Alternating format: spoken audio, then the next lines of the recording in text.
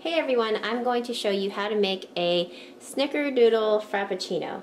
The only ingredients that you're going to need are about a cup and a half of ice, 3 fourths cup of milk, ground cinnamon, and white chocolate. So let's get started. Let's first put the ice in the blender, 3 fourths cup of milk, 2 to 3 tablespoons of white chocolate, depending on your preference. And last but not least, add some cinnamon. I'm to put about, I guess that's about two tablespoons. Alright, secure it with a lid and blend. Now we're going to pour our drink into a cup. Of course, it's a Starbucks cup because I kind of like them just a little bit. So let's pour in the snickerdoodle mixture.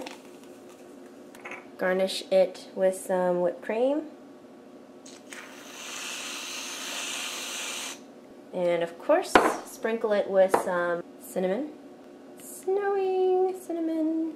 And there you have it, a snickerdoodle frappuccino that's super delicious. Well, thanks for joining me. If you guys have any other questions, comments, or concerns, leave them down below.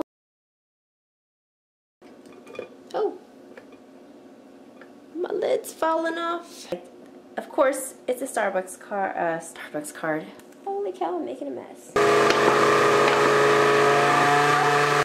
Earthquake.